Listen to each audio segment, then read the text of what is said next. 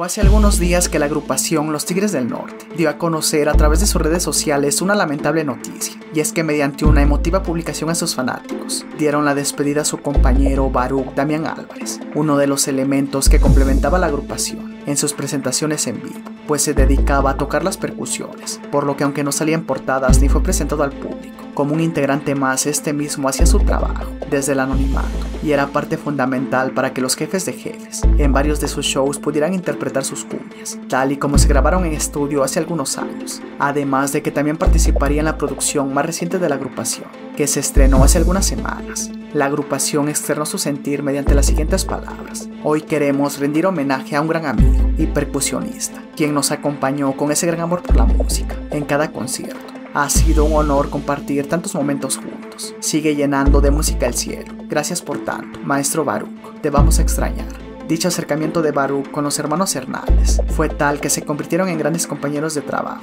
aunque lamentablemente esta noticia ha impactado en lo más profundo a la institución, que de hecho tuvo que posponer algunos de sus eventos próximos, unas semanas más tarde, en lo que nuevamente vuelven a disponer de otro integrante que complemente el show. Por su parte, la agrupación, después de aquel triste post, no ha hablado al respecto del tema, aunque es evidente que sigan asimilando lo sucedido. Todo esto mientras continúan con la promoción de su más reciente álbum, titulado La Reunión. Cuéntame en los comentarios tú qué opinas acerca del desafortunado hecho.